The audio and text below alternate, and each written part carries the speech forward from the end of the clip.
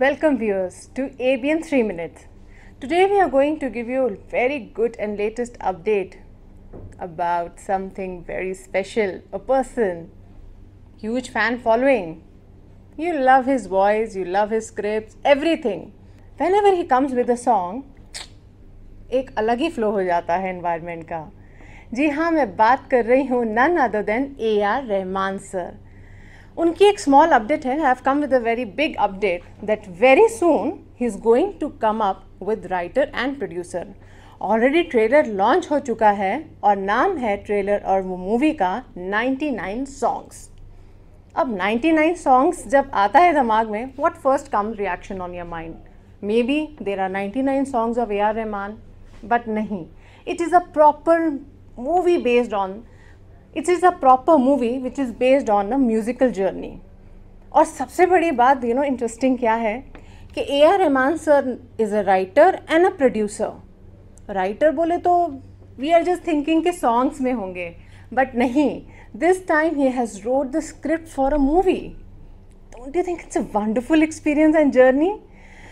well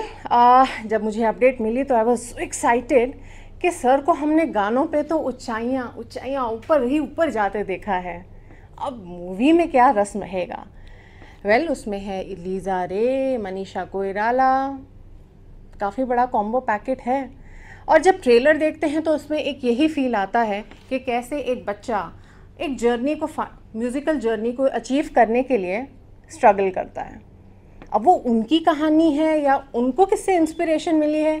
वो सब हमें जानना है जब वो प्रमोशन स्टार्ट होंगे। What we have heard very soon he'll be in Hyderabad to promote this movie और personally he is taking initiative to promote this movie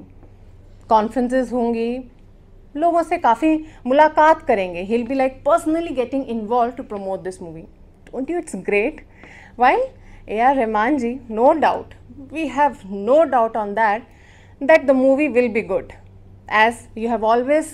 give a big surprise to all your fans with new songs with the melody you have created around this world it's superb so अब देखते हैं ये 99 songs कहाँ लेके जाता है आपको और हमारे व्यूअर्स को we are all watching and we are eagerly waiting to see this movie और जहाँ तक ट्रेलर का सवाल है ट्रेलर